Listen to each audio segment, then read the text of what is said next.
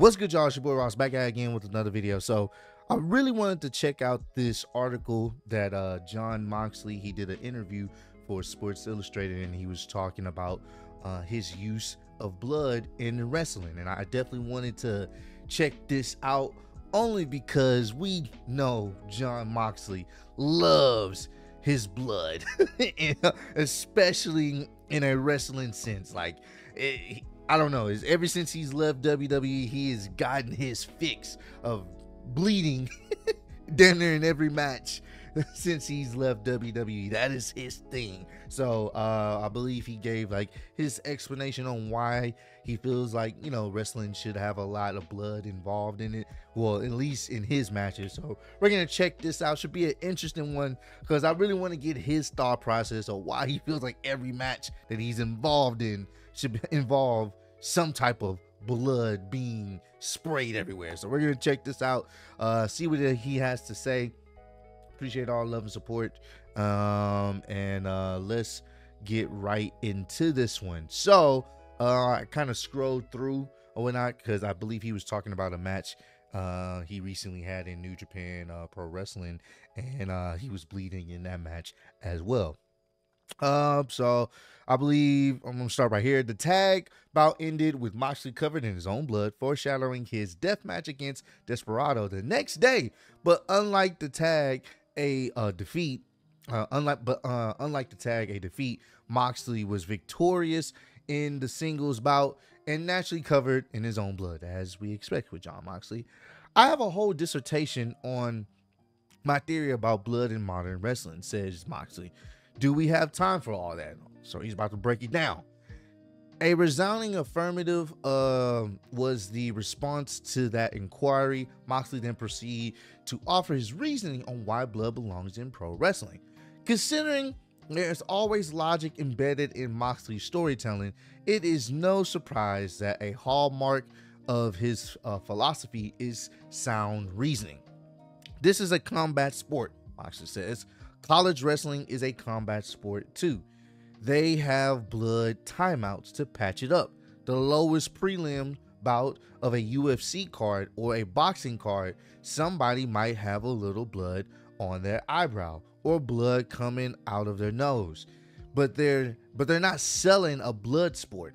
It's not tune in for the blood, tune in for the gore.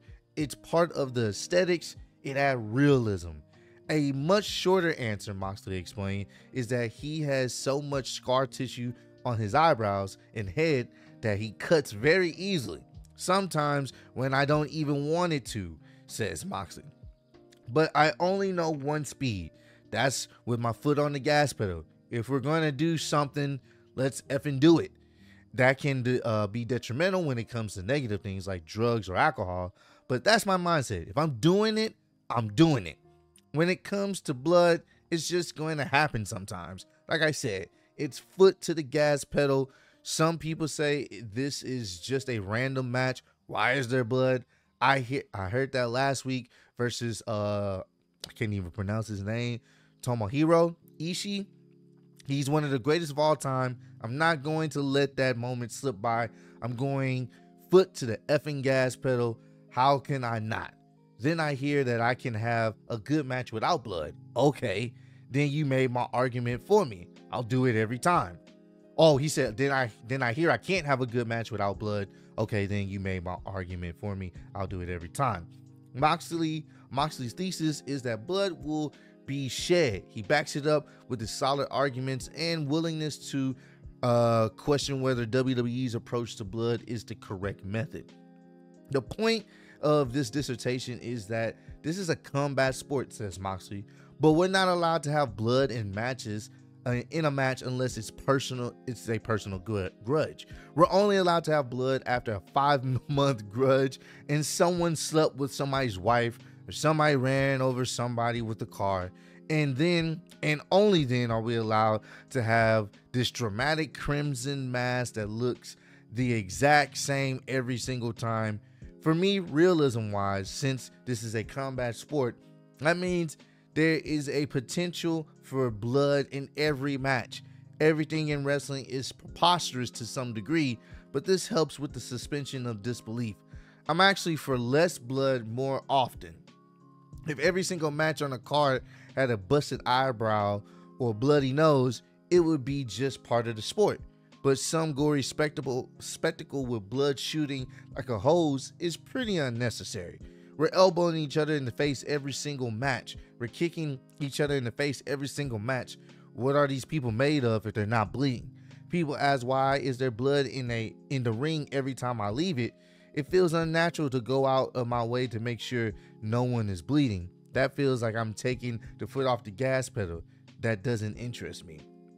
The blood also serves as a mask for not just for the crimson variety, yet when looking closely underneath Moxley's blood visage, there is no longer a scowl. Instead, somewhat hidden among the sanguine fluids is a smile. Uh, let's see. Jonathan Good was uh, has found happiness not only in the ring as Jon Moxley, a pioneer for AEW, but as a husband and father.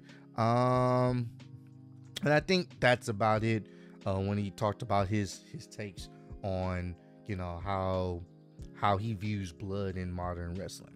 Now, after reading all that and hearing his his logic behind it, I get what he's saying. I'm not gonna outward say Moxley is is losing his mind, you know, doesn't know what he's talking about. I get what he's saying in a sense of if you're out there fighting someone you know, elbowing someone, there should be some type of bruising and there may be some blood. It, it would make sense.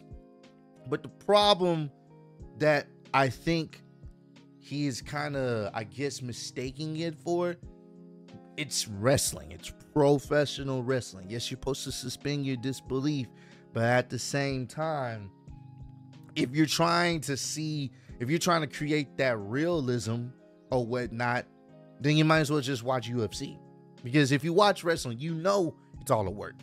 For the most part, some of it can be a shoot, but we know it's a work.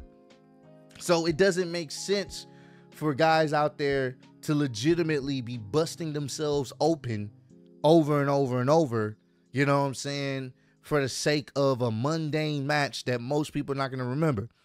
I know for a fact back in the day when people actually thought wrestling was real and the storylines were real, they weren't bleeding all the time. Because you didn't need to do that because one, you're trying to protect the people that are involved.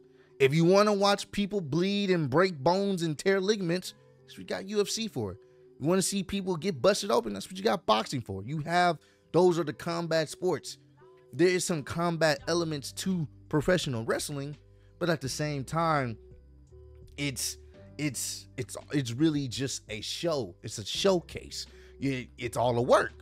You know what I'm saying? Like I said, sometimes there are some shoot elements to give that little bit of realism to make the crowd think, wait, what's going on here? But outside of that, you're working with your opponent. So I get it. They have the matches where it can be some stiff shots.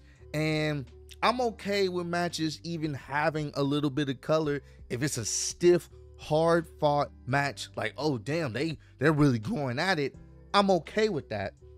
But i don't think every match should have blood in it and that's where i had to disagree with moxley on that point. I don't think every match needs that because it does lose its i guess uniqueness. For example i'm filming this before i think this is the week they do blood and guts. The match is pretty much what you expect there's going to be blood and carnage. Imagine if Blood and Guts is announced and you don't see that much blood on AEW television. It would feel like, oh, it's all hell is about to break loose because you don't see the the the blood and and the carnage on a week to week basis. So I believe last week someone was bleeding on the show, or the week before last. Like it's it's literally blood and guts almost all the time. Actually, it was blood. I believe they attacked the elite or whatever, and I think uh Hangman he was busted open. Multiple people were busted open, and that's when he announced blood and guts or whatever. So it was like, well, I mean, you kind of take away that extra element of danger for the crowd viewer because you know what to expect with Blood and Guts, but you get it all the time on the weekly show, if that makes any sense. So it's not the same as if If you guys remember back in the day when someone would announce we're having a Hell in a Cell match, oh, you knew competitors were about to bleed. You knew it was about to be a little bit on the extreme side because it was a Hell in a Cell. It makes sense to bleed in that situation because there's going to be weapons used. The cage is going to be used as a weapon. So it made sense. You didn't see it all the time. When you did see it, it was either to further an angle, maybe write somebody off a television, a feud has gotten really personal, weapons gotten involved, or even sometimes maybe it was accidental, but they turn it into an angle. It wasn't all the time thing. And when you did see it, it it made you feel something a little bit more like, oh, oh damn. Oh, this person is they in big trouble right now. They're busted open. Oh man. Or maybe someone got revenge on somebody after they screwed them over and ended up, you know, causing them to bleed. Like it it makes sense. It enhances the feud. And I get what he's saying. Like it shouldn't only be for that, but at the same time, I think it should be for those special moments, some those special matches. Because once again, blood and guts, we know what to expect. It's going to be carnage. But you get carnage almost every single week. You get blood and, and destruction damn near every single week on AEW television. So what would make the crowd go that much more crazy other than let's see how they can top themselves. Let's see how quick someone can bleed. Let's see what weapons they use to make each other bleed. You know what I'm saying? That's what it becomes at that point. And it's not as exciting as it is when you know, when you don't see someone getting busted open every single week on AEW television. Can you honestly, and I'm and this is not to hark on AEW and, and try to pick on them, but this is the only company I know that is like li- religiously right now stay busting themselves open. I mean, hell, if you really want to take it back, ECW was a company just like that too.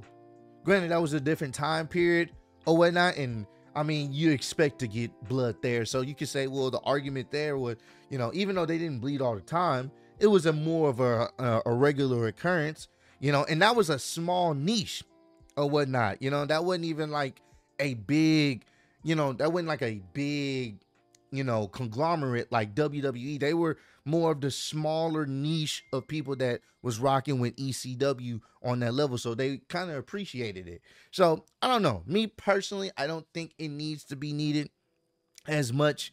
You know, I, I would love if AEW kind of pulled back on that. So when you have the blood and guts matches or these crazy stipulation matches lined up, then it feels a little bit more special when someone ends up bleeding because now it's like, uh oh, what's gonna happen here?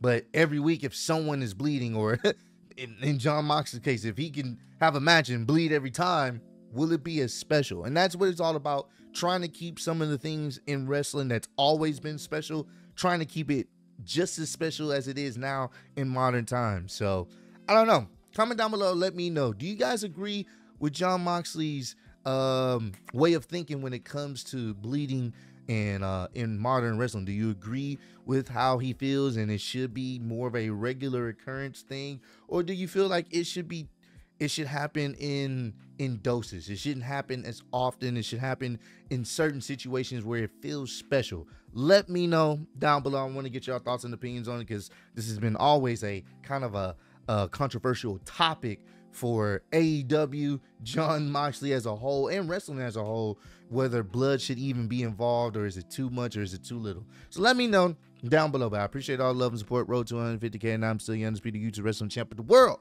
Appreciate y'all kicking with me. See you on the next one. Peace.